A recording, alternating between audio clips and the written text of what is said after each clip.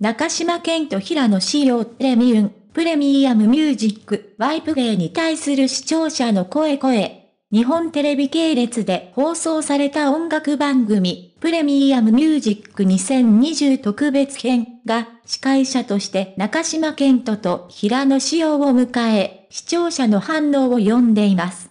特に、二人が披露したワイプゲーが賛否両論を巻き起こし、一部の視聴者から酷評を浴びているようです。本校では、その背景や視聴者の意見、番組の構成について掘り下げ、鑑賞者の感じた疑問や期待に焦点を当てます。中島健人と平野志陽のワイプゲーの批判と称賛。プレミアムミュージックの最新特別編が5月30日に放送され、中島健人と平野志陽が司会を務めたことで、視聴者の反応が二分されました。初の音楽番組司会挑戦となった二人は、その新鮮な感じに対して一部からは好意的な評価もありました。しかし、特に目立ったのがワイプゲーと呼ばれる演出で、これに対しては肯定的な意見と否定的な意見が対立しています。新型コロナの影響で過去の歌唱映像が対応された中、画面右側に中島と平野の顔がワイプで抜かれ、楽曲に合わせてノリノリで口ずさむ様子が繰り広げられました。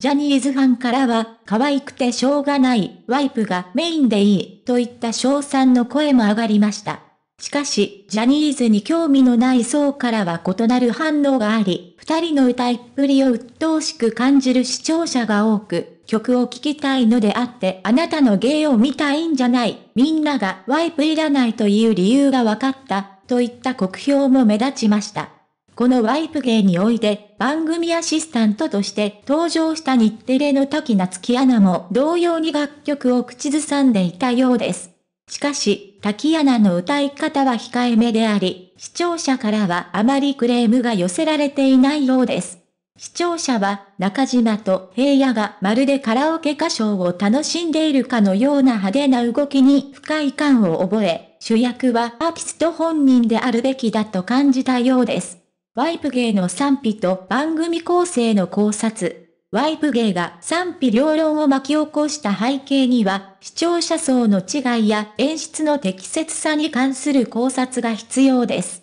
ジャニーズファンからの賞賛に対して、他の音楽ファンや一般視聴者からの批判が相反しています。一部の視聴者は、ワイプ芸を通じて中島と平野の個性が発揮され、楽しい雰囲気が演出されたと評価しています。しかし、一方で、音楽番組においてはアーティストの歌唱が中心であるべきだとの考えから、ワイプ芸が過剰に感じられたようです。また、番組の構成についても一定の疑問が投げかけられています。デジタル放送である以上、視聴者によるワイプのオンオフの選択が可能であれば、好みに合わせて楽しむことができたかもしれません。これにより、ジャニーズファンをメインターゲットにする一方で、他の視聴者も無理なく楽しめる工夫ができた可能性があります。番組制作側としては、視聴者の多様な意見や感じ方に柔軟に対応する必要があるでしょ